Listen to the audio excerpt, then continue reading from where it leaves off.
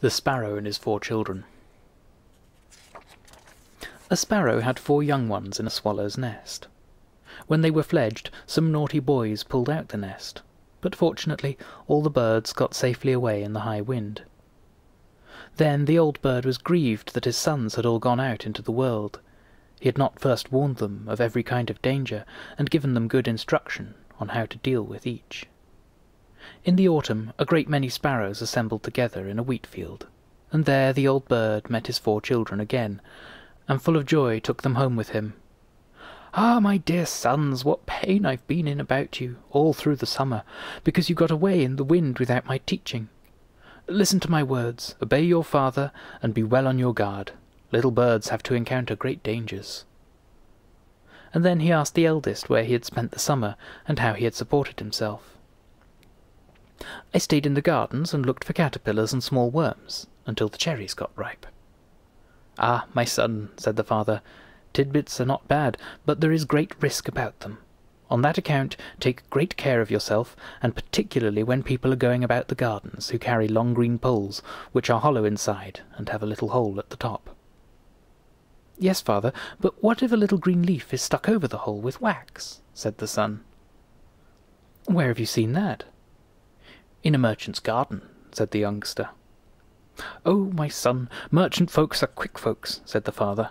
If you have been among the children of the world, you have learned worldly shiftiness enough.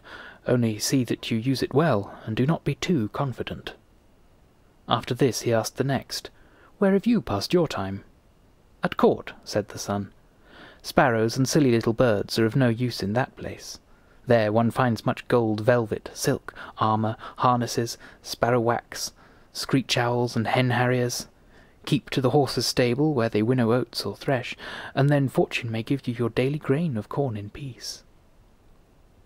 Yes, father, said the son, but when the stable boys make traps and fix their gins and snares in the straw, many a one is caught fast.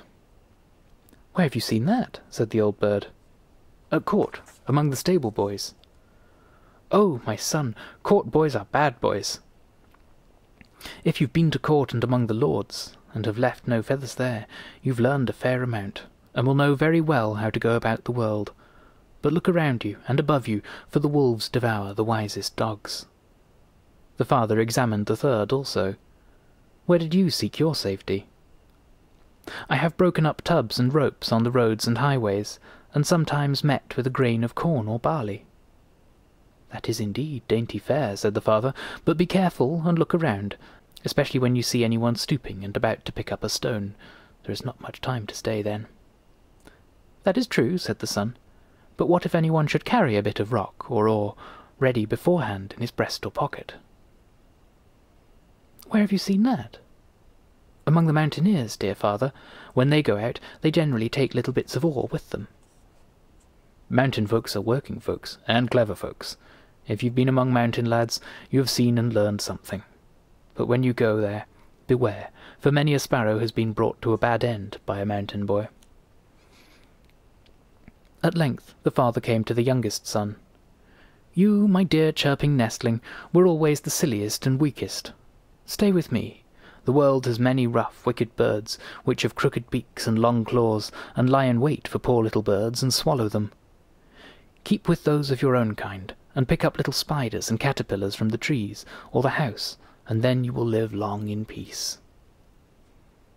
My dear father, who feeds himself without injury to other people, fares well, and no sparrowhawk, eagle, or kite will hurt him, if he especially commits himself and his lawful food, evening and morning, faithfully to God, who is the creator and preserver of all forest and village birds, who likewise hear the cry and prayer of the young ravens, for no sparrow or wren ever falls to the ground except by his will.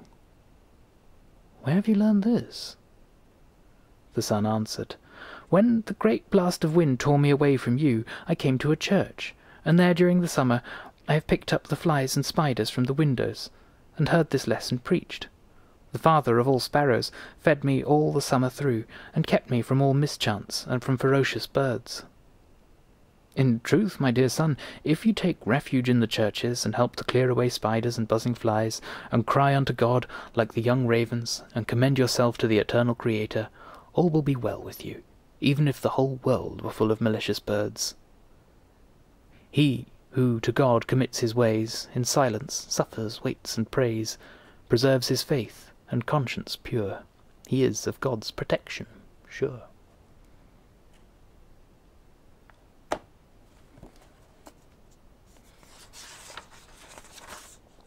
That was the sparrow and his four children.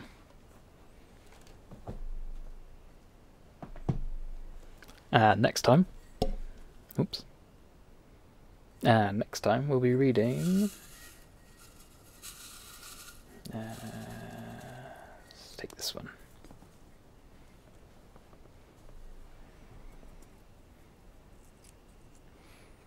Uh, the Court Cards by Hans Christian Andersen.